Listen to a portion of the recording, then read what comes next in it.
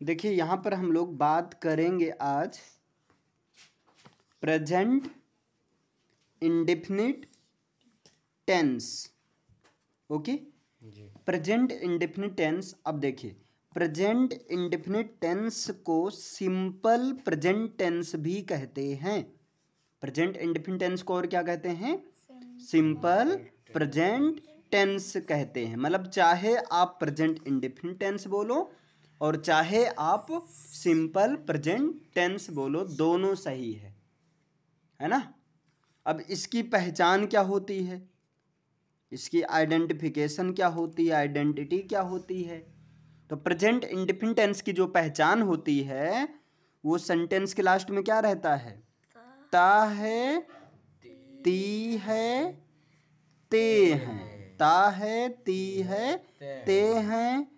ता हूँ ती हूँ है ना? ता हूँ ती हूँ ते हो और ती हो। ये रहता है प्रेजेंट इंडिफिनिट टेंस की पहचान। सेंटेंस के लास्ट में ये सब रहेगा। क्लियर है? ये हो गया। अब देखो प्रेजेंट इंडिफिनिट टेंस की पहचान होगी। जैसे एग्ज़ाम्पल की बात करें, जैसे मैं कहूँ, श्यामू। एक पत्र लिखता है। श्यामू एक पत्र लिखता है। श्यामू क्या करता है? एक पत्र लिखता है। तो देखो ये कौन सा टेंस है? ता है से पता चला कि ये प्रेजेंट इंडिफिनिट टेंस है। कैसा टेंस है? प्रेजेंट इंडिफिनिट टेंस है। कैसे पता चला? लास्ट में ता है। है इसलिए पता चल गया कि प्रेजेंट इंडिफिनिट टेंस है। अभी एक बेसिक से समझो है ना? बेसिकली यही होता है बाकी डीप में जाएँगे तो अलग होता है थोड़ा सा कुछ एक्सेप्शन भी आ जाते हैं। अब इतना समझे श्यामू एक पत्र लिखता है ता है से पता चल गया कि ये प्रेजेंट यानी कि सिंपल प्रेजेंट टेंस है। अब दूसरा आता है इसकी इंग्लिश कैसे बनाते हैं? तो अब पहले नंबर पर हमने बात कर लिया पहचान की। अब दूसरा नंबर हम बात करते हैं अगर सेंटेंस सिंपल सा रहता है तो। है ना? सिंपल का मतलब नहीं वाला ना हो ना ही क्वेश्चन वाला हो बल्कि वो सिंपल सा अफर्मेटिव सेंटेंस हो। सिंपल सा कैसा सेंटेंस हो? हाँ अफर्मेटिव सेंटेंस हो। है ना? अफर्मेटिव सेंटेंस मीन्स होता है simple positive sentence affirmative sentence means क्या होता है? इसको ऐसे याद रखो। सिंपल लेकिन positive sentence okay simple positive sentence होता है आपका अफर्मेटिव सेंटेंस होता है। जिसमें बात को एक्सेप्ट किया जाए, जैसे श्यामू पत्र लिखता है, मैं स्कूल जाता हूँ, वह एक किताब पढ़ती है है ना? मैं खाना पकाता हूँ, इस तरह का, ऐसा सेंट नहीं वही वाला ना हो। क्लियर है? सिंपल सा। ये समझे अफर्मेटिव सेंटेंस क्या होता है? अब अफर्मेटिव सेंटेंस को इंग्लिश में बनाने के लिए सबसे पहले तुमको लिखना है सब्जेक्ट लिखना है। सबसे पहले क्या लिखना है? सब्जेक्ट लिखना है। अब प्रश्न आता है सब्जेक्ट होता क्या है? है ना? सब्जेक्ट होता क्या है? तो देखो सब्जेक्ट वो होता है जिसके बारे में बात किया जाता है। ठीक? जिसके बारे में बात हो वही होता है सब्जेक्ट सब्जेक्ट कौन होता है? जिसके बारे में बात की जाती हो। जिसके बारे में बात की जाती है या बात की जा रही हो, वही होता है सब्जेक्ट होता है। इतना क्लियर है? सबसे पहले लिखना है सब्जेक्ट लिखना है। क्लियर है? सब्जेक्ट के बाद लिखना है तुमको वर्ब लिखना है। और वर्ब की वो फ़र्स्ट फॉर्म वाला, जैसे गो जाना की इंग्लिश गो होती है लेकिन गो का तीन फॉर्म है बेसिक रूप से। गो बेंट गॉन तो तुमको कौन सा फॉर्म लिखना है? फ़र्स्ट फ़र्स्ट फॉर्म लिखना है। क्लियर है? या तो जो है फ़र्स्ट फॉर्म में एस या ई एस लगाना है। दो कंडीशन है। या तो केवल वर्ब की फ़र्स्ट फॉर्म लिख देनी है या तो फ़र्स्ट फॉर्म में एस या ई एस लगाना है। अब ये तो कंफ्यूजन है। है ना? है कि नहीं? कहाँ पर केवल वर्ब की फ़र्स्ट फॉर्म लिखेंगे? और कहाँ पर एस या ई एस लगाएँगे? तो देखो अगर सब्जेक्ट सिंगुलर होगा अगर सब्जेक्ट कैसा होगा? सिंगुलर सब्जेक्ट होगा। सिंगुलर सब्जेक्ट ठीक है? ये देखो मैंने एरो ये समझ पा रहे हैं ना? अगर सब्जेक्ट सिंगुलर होगा सिंगुलर का मतलब सब्जेक्ट की जगह ही मीन्स वह हो मेल के लिए होता है सी मीन्स वह लेकिन ये किसके लिए होता है? फीमेल के लिए या इट हो है ना? इट मीन्स यह वह दोनों होता है नॉन लिविंग या जो है एनिमल्स के लिए क्लियर है? और कोई एक नाम हो या कोई भी एक चीज़ हो वो सब आता है सिंगुलर सब्जेक्ट अगर सिंगुलर सब्जेक्ट होगा तभी एस या ई एस लगाने के लिए सोचना नहीं तो सोचना भी मत केवल फ़र्स्ट फॉर्म लिख देना बस। मतलब अगर सब्जेक्ट की जगह इतना मिलता है सिंगुलर एक मिलता है है ना? ही सीट वन नेम या कोई भी ऐसी चीज़ जो एक हो, मिलता है, तब वहाँ पर एस आई एस लगाना उसमें, नहीं तो केवल चुपचाप वर्ब की फ़र्स्ट फॉर्म लिख देनी है। क्लियर है? एक चीज़ याद रखो बस, है ना? और इसके बाद तुमको लिखना है, जो भी बचा रहेगा, यानी कि ऑब्जेक्ट अदर इनके बाद लिखना है। इसलिए मैंने यहाँ ओ कर दिया। ओ मतलब समझ जाओ ऑब्जेक्ट अदर इन सबको लास्ट में लिखना है। बस यही याद रखना है, बस काम हो गया। लेकिन अब यहाँ भी एक कंफ्यूजन है। कहाँ पर एस लगाएँ, कहाँ पर ई एस लगाएँ? है कि नहीं कंफ्यूजन तो देखो, अगर कोई वर्ब का लास्ट लेटर ओ है एस है एस एच हो, या जो है सी एच हो, या एक्स हो, या जो है जेड हो। क्लियर है? या जो है डबल एस हो, तब वहाँ पर फ़र्स्ट फॉर्म में ई एस लगाएँगे और बाकी सब जगह एस लगाएँगे। याद रहेगा ना? बस यही याद रखना है। जैसे मैं कहूँ, श्यामू, अभी जो एग्ज़ाम्पल दिया गया था, वही मैं लिख रहा हूँ। श्यामू पत्र लिखता है। तो देखो, श्यामू पत्र लिखता है। ठीक? अच्छा फ़र्स्ट फॉर्म का यूज़ करना प्लूरल सब्जेक्ट के साथ में। किसके लिए? प्लूरल सब्जेक्ट के लिए, जिसमें आता है आई मीन्स मैं बी मीन्स हम, है ना? यू मीन्स तुम यू मीन्स तुम या आप, और दे मीन्स होता है वे। या जो कोई भी दो नाम हो या दो से ज़्यादा नाम हो, या जब कई चीज़ की बहुवचन की बात होने लगे, बहुत सारी चीज़ों की बात होने लगे, तब केवल फ़र्स्ट फॉर्म, वहाँ एस एस नहीं लगाना है। मतलब एस आई एस का झमेला तभी रहेगा जब सब्जेक्ट सिंगुलर होगा तो। है ना? समझे इतना? तो इस तरह से, अब जैसे कहा जाए, इसकी इंग्लिश बनाओ, इसकी इंग्लिश क्या होगी? ट्रांसलेशन करो। तो सबसे पहले तो आप टेंस पहचान लो। तो बताओ, टेंस लास्ट से पता चल जाएगा। बताओ, ये कौन सा टेंस है? हाँ ता है से पता चल गया कि ये कैसा टेंस है? प्रेजेंट इंडिफिन टेंस है। वेरी गुड क्लियर है? अब ये प्रेजेंट इंडिफिन टेंस है भैया। ठीक है। सही है। अब दूसरा देखो। सबसे पहले मैंने पहचानी तो बताया था। दूसरा देखो अफर्मेटिव सेंटेंस तो नहीं है। बताओ कैसा सेंटेंस है ये? श्यामू पत्र लिखता है। हाँ यार सही है। नहीं वाली तो बात हो नहीं रही। क्वेश्चन वाला तो बात हो नहीं रहा है मतलब अफर्मेटिव सेंटेंस है है कि नहीं? अब अफर्मेटिव सेंटेंस है तो उसकी इंग्लिश कैसे बनाते हैं? सबसे पहले सब्जेक्ट लिखते हैं। अच्छा कोई भी अफर्मेटिव सेंटेंस होगा, सारे अफर्मेटिव सेंटेंस में या सारे सेंटेंस में सबसे पहले सब्जेक्ट लिखते हैं। इंटेरोगेटिव को छोड़ दो, है ना? तो सब्जेक्ट श्यामू बाबा हैं भैया। चलो आ जाओ श्यामू। ये हो गए श्यामू साहब। अब श्यामू देखो, एक नाम है कि एक से कई नाम है? एक। एक ही नाम है ना? या दो नाम है श्यामू एक, ही इंसान? अब श्यामू जब एक नाम रहे तब फ़र्स्ट फॉर्म में एस आई एस लगाना। चलो अब वर्ब का मतलब होता है काम। इतना तो पता ही होगा ना? वर्ब वर्ब मीन्स होता है क्रिया। मतलब ये काम के बारे में बताता है एक्शन के बारे में बताता है। इसलिए इसको एक्शन वर्ड भी कहते हैं जैसे रोना सोना खाना पहनना जागना। है ना? तो अब यहाँ देखो श्यामू बाबा कौन सा काम कर रहे हैं? पत्र लिखने का काम कर रहे हैं। बात अलग है पत्र लिखता है किताब लिखता है। लेकिन यहाँ मेन काम कौन सा कर रहा है श्यामू लिखने का। लिखने का। ठीक है भैया। लिखने की इंग्लिश क्या होगी? दिमाग से पूछो। राइट राइट अच्छा दिमाग ने बताया राइट होगा। ठीक है। है ना? तो राइट हो गया W R I T E भाई यही तो करना था। सब्जेक्ट लिखो। उसके बाद या तो फ़र्स्ट फॉर्म लिखो या तो एस एस लगाओ। अब क्वेश्चन आता है केवल फ़र्स्ट फॉर्म लिखें या एस आई एस लगाएँ? तो ये कौन बताएगा? सिंगुलर सब्जेक्ट तो श्यामू तो सिंगुलर है ना? तो एस एस तो लगेगा। अब एस लगाएँ कि यस लगाएँ? तो ई एस के लिए तो इतनी नौटंकी है।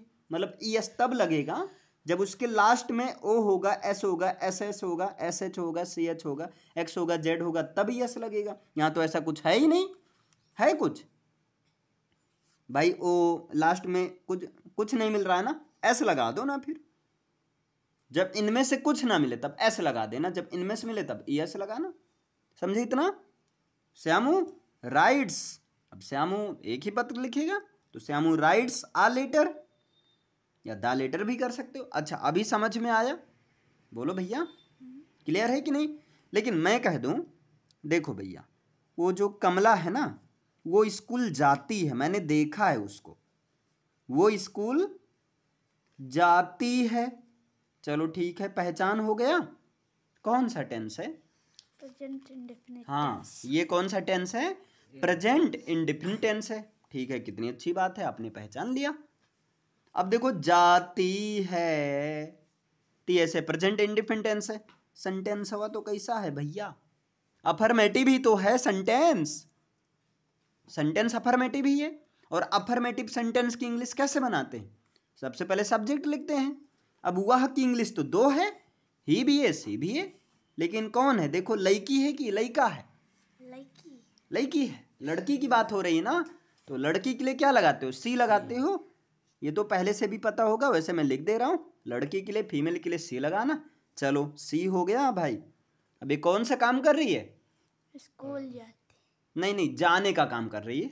मंदिर भी जा सकती थी लेकिन अभी तो काम कर रही है जाने का। ठीक है जाना की इंग्लिश क्या होगी? गो अब बताओ ऐसे यस लगाएँ कि ना लगाएँ? यस लगे। क्यों लगेगा यस सर यहाँ से पहला नंबर तो सब्जेक्ट सिंगुलर है ये डिसाइड करो। तो ऐसे यस दो में से एक लगेगा। अब यहाँ देखो लास्ट में ओ है। अरे गजब मिल गया भाई मिल गया। क्या लगाएँगे फिर? एस तो लगाएँगे नहीं। तो क्या होगा? गोज। इसको गोश नहीं बोलेंगे गोज बोलेंगे। क्या बोलेंगे?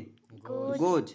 She goes. जाने के लिए लगता है टू। किसी डायरेक्शन में जब जाया जाए तो सी गोज टू कहाँ जाते? स्कूल। तो स्कूल हो गया। स्कूल की स्कूल। स्कूल। स्कूल। अच्छा अभी इतना क्लियर है? भैया? हाँ। लेकिन मैं कह दूँ नहीं यार वो कहाँ जाती स्कूल? मैं स्कूल जाता हूँ भाई। मैं स्कूल जाता हूँ। अब बताओ। मैं की इंग्लिश क्या होगी? आई आई होगी बच्चा यहाँ लिख दिए हैं। सब्जेक्ट की तरह यूज़ करना है। मैं की इंग्लिश क्या होगी? अच्छा मैं कौन सा काम कर रहा हूँ? स्कूल जाती जाने। का ना? तो आई और जाने की इंग्लिश क्या होगी? गो गो अब एस एस लगाएँ कि ना लगाएँ? अरे नहीं लगाएँगे यार ज़बरदस्ती लगाओगे। जब ये ससुरा कह रहा है कि सब्जेक्ट प्लूरल रहे मतलब आई बी यू दे ये प्लूरल में आता है। तब वहाँ पर कोई झमेला नहीं करना है। केवल वर्ब की फ़र्स्ट फॉर्म ही लिख देनी है। तो लिख दो फिर। तो गो गो हो गया कुछ नहीं लगेगा। आई गो आई गो अब जाने के लिए लगता है टू और कहाँ जा रहे हैं? स्कूल तो आई गो टू स्कूल मैं स्कूल जाता हूँ। ये भेदभाव कैसा भैया? ये भेदभाव इसलिए क्योंकि ये सब्जेक्ट सिंगुलर है। तो सिंगुलर के साथ एस आई एस लगेगा और प्लूरल के साथ में एस आई एस नहीं लगेगा। मतलब समझ में आया? क्या समझ में आया? कि अगर सिंगुलर सब्जेक्ट होगा फिर से मैं समझा दे रहा हूँ। नित कहोगे सर जी भेदभाव आप कर दिए। लिखे नहीं अलग अलग सिंगुलर सब्जेक्ट होगा। सिंगुलर सब्जेक्ट का मतलब समझ रहे हो ना? जी। ही सी इट या कोई एक नेम, चाहे इंसान का, शैतान का, हैवान का, किसी का भी एक हो, एक नाम। तब वहाँ पर फ़र्स्ट फॉर्म में या तो एस लगाएँगे, या तो ई एस लगाएँगे, पक्का, फिक्स है, अगर सब्जेक्ट सिंगुलर आ गए तो। और इसके बाद जो भी रहेंगे, उनको लिख देना है। क्लियर है? लेकिन अगर सब्जेक्ट प्लूरल आ जाता है तो अगर सब्जेक्ट कैसा आ जाता है प्लूरल सब्जेक्ट आ जाता है तो प्लूरल सब्जेक्ट मीन्स आई आ गया बी आ गया यू आ गया दे आ गया या जो है टू नेम और more than two name subject plural आ जाता है। तो उस सिचुएशन में केवल वर्ब की फ़र्स्ट फॉर्म लिखेंगे। कोई कलाकारी नहीं करनी है और इसके बाद में अदर ऑब्जेक्ट। समझ में आया? तो भैया क्या करना है? बताओ। सबसे पहले तो पहचानना है टेंस को। मैं बता रहा हूँ सबसे पहले क्या करना है? टेंस को पहचानना है फिर देखना है सेंटेंस अफर्मेटिव है कि नहीं सिंपल है कि नहीं। है ना? अगर सेंटेंस सिंपल हो तब देखना है सब्जेक्ट कैसा है। तब देखना है सब्जेक्ट कैसा है। अगर सब्जेक्ट सिंगुलर होगा एस एस का मतलब सिंगुलर सब्जेक्ट। अगर सब्जेक्ट सिंगुलर होगा तो फ़र्स्ट फॉर्म में एस आई एस लगा देना, नहीं तो मत लगाना। अगर सब्जेक्ट प्लूरल आ गया, तब क्या करना? केवल फ़र्स्ट फॉर्म लिखना और अदर ऑब्जेक्ट लिख देना। यही चार स्टेप में आपको इंग्लिश बनानी है। किसी भी सेंटेंस का बना सकते हो। किसी भी सेंटेंस का। क्लियर है? जैसे मैं कहूँ, मैं होटल में मैं होटल में रहता हूँ। मान लो मैं होटल में रहता हूँ। कहाँ पर रहता हूँ? होटल। होटल में। तो सबसे पहले क्या करोगे? टेंस टेंस पहचानोगे ना तो ताहू से का पता चला? क्या पता चला ताहू से? प्रेजेंट प्रेजेंट इंडिफिनिट टेंस है। ठीक है पहला तो हो गया काम। फिर देखो सेंटेंस अफर्मेटिव है। हाँ भाई है तो। मैं होटल में रहता हूँ। है ना? अफर्मेटिव सिंपल पॉजिटिव सेंटेंस है। ठीक है? सब्जेक्ट सिंगुलर है कि प्लूरल ये देखो। तो मैं मैं की इंग्लिश आई आई तो यार आता है प्लूरल में। अब इसको याद कर लेना। हमेशा काम आएगा सिंगुलर सब्जेक्ट में कौन आएगा प्लूरल में कौन आएगा। ठीक है? तो आई किसमें आता है? प्लूरल में अच्छा आता है। तो सारी नोटिंग की खत्म। रहना की इंग्लिश लिव इसमें कुछ नहीं लगाना। छेड़खानी नहीं करनी इसमें। क्यों? क्योंकि सब्जेक्ट प्लूरल आ गया, बहुवचन में। आई प्लूरल आता। है ठीक है? लिव अब ये बचा क्या? होटल में। अच्छा मेक इंग्लिश इन तो I live in the hotel मैं होटल में रहता हूँ। बताओ, समझ में आया? हम्म? बोलो भैया। हाँ? अगर मान लो यही हम थोड़ा सा कलाकारी कर देते और हम कह देते, देखो हम नहीं रहते हैं, तुम्हें गलत फहमी हो गई। वह होटल में रहता है भाई मैं कहाँ रहता हूँ? वह होटल में रहता है तो सबसे पहले क्या करोगे? टेंस को पहचानोगे? अच्छा। अच्छा पहचान लिए। कौन सा टेंस है? ताहू से। प्रेजेंट इंडिफिनिट टेंस है ठीक है। अफर्मेटिव सेंटेंस है? हाँ है। अच्छा ठीक। सब्जेक्ट कैसा है? सिंगुलर सब्जेक्ट या प्लूरल सब्जेक्ट? तो वह होटल में रहता है। वह की इंग्लिश ही होगा क्योंकि मेल की बात हो रही। तो ही अब बताओ ही सिंगुलर है या प्लूरल सिंगुलर है तो रहना की इंग्लिश क्या होगी? लिव अब यहाँ लिव में छेड़खानी करनी है। क्यों करनी है? क्योंकि ही अकेला है। सिंगुलर सब्जेक्ट मीन्स एक वचन। अब लिव में ऐसे लगाएँ कि यस लगाएँ? आप बताओ यस तो लगेगा नहीं। क्योंकि यस लगने के लिए लास्ट में ये सब होना चाहिए। O Z X C H S H S S S होना चाहिए। यहाँ तो ऐसा कुछ है नहीं। तो यहाँ क्या लगेगा? केवल एस लगेगा। तो लिप्स हो गया। He lives in the hotel he lives in the hotel बताओ समझ में आया कि नहीं? बढ़िया अच्छे से क्लियर हुआ? एकदम। चलो इसे एक बार लिखो पढ़ो अच्छे से क्लियर हो जाएगा। नहीं क्लियर हो जाएगा तो उसके लिए any problem there call me here okay clear समझ में आया? एक बार इसको रिवीजन कर लो। प्रेजेंट इंडिफिनिट टेंस को और क्या कहते हैं? सिंपल प्रेजेंट टेंस कहते हैं। पहचान क्या होती है? ता है, ती है, ते हैं, ता हूँ, ती हूँ, ते हो, ती हो। जैसे श्यामू पत्र लिखता है, श्यामू एक पत्र लिखता है। अच्छा अफर्मेटिव सेंटेंस होगा। तो क्या करना है? सबसे पहले सब्जेक्ट लिखना है सब्जेक्ट सिंगुलर है। तो ऐसे यस लगाना singular subject means he she it one name है प्लूरल है। तो केवल फ़र्स्ट फॉर्म लिखना I we you they two name और मोर देन टू नेम इसके बाद अदर ऑब्जेक्ट क्लियर है? समझे? लास्ट में वर्ब के लास्ट में O S S S S H C H X Z होगा तब फ़र्स्ट फॉर्म में ई एस लगाना नहीं तो केवल फ़र्स्ट फॉर्म लिखना. क्लियर है? हाँ. वर्ब का मतलब एक्शन काम के बारे में बताए. बाकी यहाँ एग्ज़ाम्पल है. समझ में आया? एग्ज़ाम्पल जैसे श्यामू एक पत्र लिखता है, श्यामू राइट्स अ लेटर वाई स्कूल जाती है? सी गोज टू स्कूल मैं स्कूल जाता हूँ आई गो टू स्कूल मैं होटल में रहता हूँ I live in the hotel वह होटल में रह रहता अच्छा रहता है। तो he lives in the hotel समझ में आया? सबसे पहले टेंस पहचानना देखना अफर्मेटिव सेंटेंस हो तो सिंगुलर सब्जेक्ट के साथ फ़र्स्ट फॉर्म में एस या एस नहीं तो केवल वर्ब की फ़र्स्ट फॉर्म लिखना काम हो जाएगा। तो बोलो सियावर रामचंद्र की। जय। जय। क्लियर है? आपको ये कंप्लीट करना है. क्लियर